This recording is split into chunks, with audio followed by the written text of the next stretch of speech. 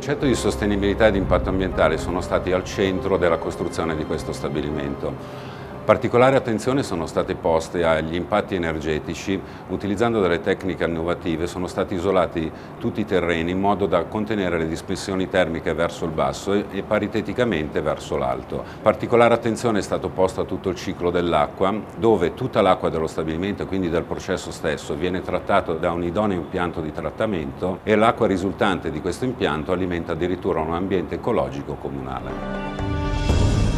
Anche alla fine del percorso di produzione non viene a mancare il controllo da parte della qualità per tutte le verifiche di conformità, qualità del prodotto, ricerca, lotto. Altre sono destinate al laboratorio per la ricerca di tutti gli indicatori microbiologici che definiscono il profilo igienico di un alimento.